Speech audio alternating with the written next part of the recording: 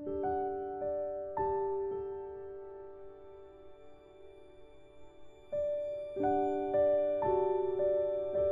Friends healthy रसोई में आपका स्वागत है। आज हम पतंजलि पनीर से बहुत ही स्वादिष्ट मिठाई बना करके तैयार करेंगे। यकीन मानिए, खाने में बहुत ही स्वादिष्ट लगती है। और तीस से चार मिनट में ये मिठाई करके तैयार हो जाएगी। बनाना बहुत आसान है इसे। इसके लिए हमने 200 ग्राम पनीर लिया है।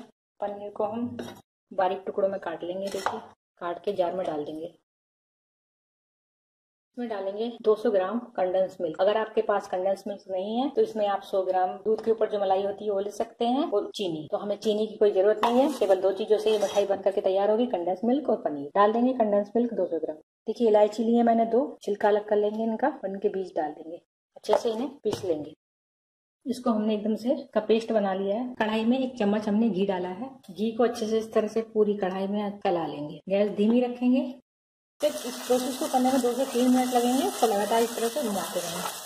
नीचे चिपके नहीं और घी हमने इसलिए डाला है ताकि ये नीचे चिपकेगा नहीं और टेस्ट में भी डबल हो जाएगा। तीन से चार मिनट इसे धीमी गैस पर हमने पका लिया है। देखिए, एकदम से बोल टाइप बिल्कुल इकट्ठा हो जाता है और दूसरा तरीका ये है, थोड़ा ठंडा होने दें और हाथ में ले। इस तरह से आप बना के देखेंगे तो ये बिल्कुल टाइट हो रहा है। देखिए, इस तरह का हो जाना चाहिए हमारा मिक्सर तो मिक्सर हमारा तैयार है। ज़्यादा इसे ओवर कुक नहीं करना है। बर्तन में निकाल लेंगे। इसे इतना थोड़ा ठंडा होने देंगे ताकि हम इस पे हाथ लगा सके। ये थोड़ा ठंडा हो गया है, देखिए। आप इसमें कोई ड्राई फ्रूट्स भी डाल सकते हैं, लेकिन ये जो स्वीट है, अपने आप में इतनी स्वादिष्ट है तो इसे किसी ड्राई फ्रूट्स की ज़रूरत नहीं है। अच्छे से इसको चिकना कर लें आप। थोड़ा सा पेड़ा ले लेंगे। तरह से लंबा कर लेंगे, देखिए। इस तरह से करेंगे, और इस तरह से। शेप दे देंगे, इस तरह से।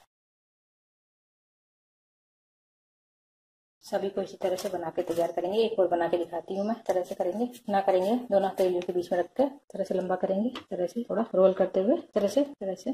सभी मिठाई इसी तरह से हम बना करके तैयार कर लेंगे। हमारी मिठाई बन करके तैयार है। हलवाई जो है इस मिठाई पर सिल्वर जाते हैं। इस तरह से कर देते हैं देखिए। लेंगे इसको। इसको हाथ से छूना नहीं होता है। तीन चार हम इस तरह से रख देंगे। और ये तीन चार देखिए इस तरह से इसको आप घुमा देंगे। इसको इस तरह से। आप चाहे तो इसे कर सकते हैं। इस तरह से घुमाना होता है इसको टच नहीं करना होता है। इस तरह से। पूरे पे नहीं लगा रही हूँ मैं। थोड़े पे लगा रही हूँ हाफ़ हाफ़ पर। आप चाहे तो पूरे पे लगा सकते हैं। इस तरह से। इससे स्वाद पे कोई फ़र्क नहीं पड़ता। बस मिठाई हमारी देखने में अच्छी लगती है। टेस्ट में कोई अंतर नहीं आता।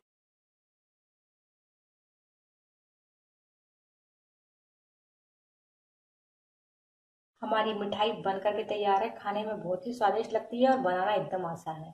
आप इसे बनाइए, अगर आपको हमारी वीडियो पसंद आए तो प्लीज़ सब्सक्राइब ज़रूर कीजिए, लाइक कीजिए, शेयर कीजिए। हम मिलते हैं अगली वीडियो में एक नई रेसिपी के साथ। Thank you.